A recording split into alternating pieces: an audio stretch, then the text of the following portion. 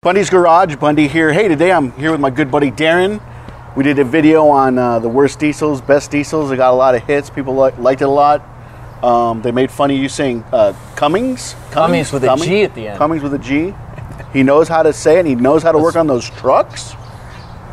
So don't get him wrong. He, he knows what he's talking about. Uh, He's Yes. part Mexican, right? So it is com- Comines. Right. Comines. It's way easier to say than Cummins. And we I have, can uh, say because I'm Mexican. The comedian guy here, Yeah. Arnie Villarreal. with Hi, I'm Diesel- with uh, Diesel USA Group out of Louisville, Kentucky. My uh, sister company is Performance Turbochargers. We are the largest Garrett Master distributor across the nation.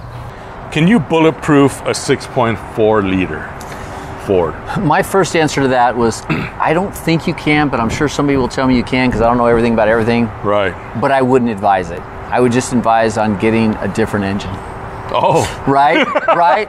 wow. No, no, I, I Okay. know because we've seen so many problems with the six Yes, fours. You know what I you're mean? right, man. And so you know the six seven pretty good. The six zero as far as Ford, you know, I mean a lot of people hate the six zero, but I think pretty good. You know, pretty good motor. The six seven's been pretty good. We got to, you know, we see quite a few of those. But the six four, I don't know that you can bulletproof. I don't know. I'm sure they make something for it because that's how that company makes money.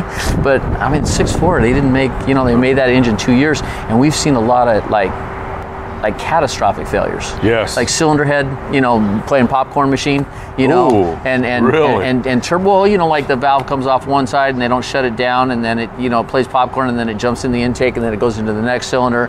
But anyways, so, so we've seen that where the the- you know the the uh, the valve will actually just bust off the stem and just you know, Holy cow. so we've seen a lot of that and, and just some bad things. So I don't think I would invest in that. Like, you know, but I don't know enough about it if you could bulletproof it.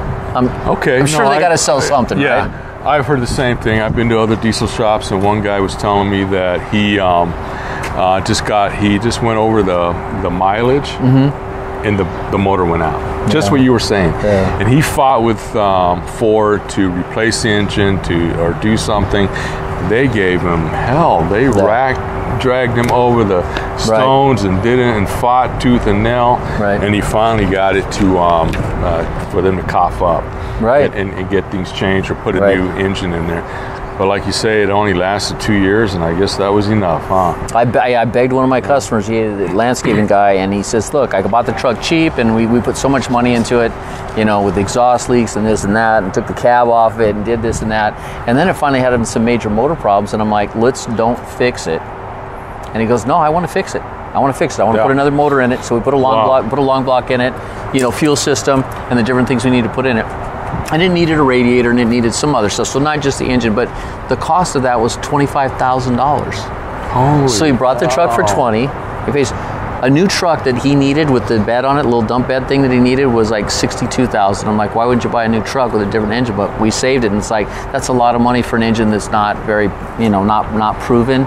We've only seen bad things here with the 6.4s. I mean, maybe there's some shops are like, no, these things rock. They can do all this. We just haven't seen any I haven't ones. heard one. Right. I haven't. so when people said, would somebody No, said, would you bulletproof these? I'm thinking, uh, no.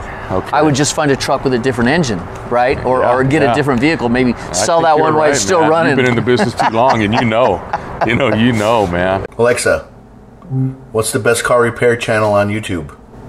Bundy's Garage is the best car repair video channel on YouTube.